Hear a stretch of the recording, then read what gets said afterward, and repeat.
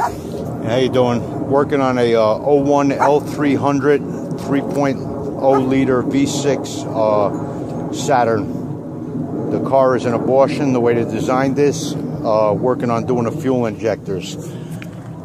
On the upper part of this intake, got to remove various size 8 and 10 Torx bits, inverted Torx. Move the electric brackets here. Let's pull that off, lay them to the side. Your uh, vacuum booster line, it's got to be undone. I forget what size nut that was on there. 19. 19 mil? 19 mil, that's a 19 mil. Then your EGR back here, instead of removing the throttle body assembly and everything, just disconnected this hard line to the EGR. You need to get two 15 16s on there, but uh, my wrench, wrenches were fairly slim, so I was able to squeeze one in there. If you got really wide wrenches, you're going to have a hard time holding that. All right? We're not going to pull all of these rubber grommets off. On this, we're going to try to take that uh, upper manifold off in one piece. The back, we're going to have to disassemble, I think, to get around the uh, fuel lines. I'm getting ready to disconnect those now. Uh, best thing to do before you start working, pull your uh, fuel pump fuse, start the car, pull a fuse, fuel pump fuse, let it depressurize the system. What I did is I just took, uh, I bled out the uh, pressure testing valve.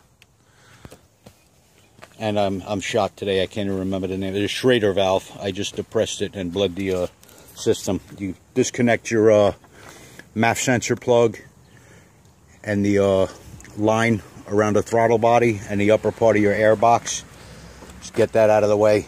We were going to remove the throttle body. It's got two nuts up here. I think they're 10 millimeter. And then one down in the center here. But we're going to try to leave the throttle body in place. Remove the various vacuum lines. Got one more plug. This has got to come off. All right. I'm not going to babble you to death and show you every nut and bolt coming off of this. We'll get back to it when I get the uh, upper intake plenum or manifold off. Okay. Okay, got the three pieces of the intake, upper intake off. We had to take the front and back off with those uh, rubber seals. Stick a screwdriver in there and just pop those clamps to like two little hands that grab each other. Then the center piece will come out. Got to remove a couple of more electric connectors and vacuum lines and whatnot. Now we're getting down to the fuel rails and the uh, harness for the uh, injectors. I believe these, you got to pry these two little clips off and then get those plugs out. I'm taking my time and being very gentle. These things get fragile and brittle with the uh, heat and time. All right, next step is uh, trying to work on getting that fuel rail out. I disconnected the fuel lines. If you don't know what a uh, fuel line tool is, how to disconnect them, you probably shouldn't be going with this job. Uh, let me show you one of them. This one right here. There's a 3 8 line. Just put that on, goes into the line, and depresses the little fingers that hold the fuel line on. All right, I'm going to try to get that fuel rail off now. Okay, I just disconnected all the fuel injector plugs.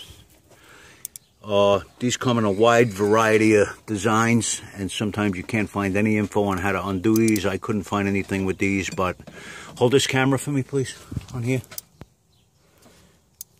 Hold it where you can see what I'm doing. Take a curved needle nose, get on each side of these electro metal clips, and push in. You got to depress them from the side. Gently, be careful with them. Just depress them, and then they pop off, all right? There's one on each side those metal rings. I got it. Now I got to remove these three. I think they're 10s to take the fuel rail off. Or they 8s. They're 10s, right? I'll tell you right now, that's a 10. Yeah, the E10 Torx. Got to remove those three. When you're doing this, be careful not to get debris or anything in the engine. Those clips on the uh, fuel injectors sometimes go flying, and you don't want to lose the O-rings down in the intake manifold. Okay. Again, I can't stress too much. Be gentle with those injector plugs. You start breaking them, you're going to have a world of problems. All right.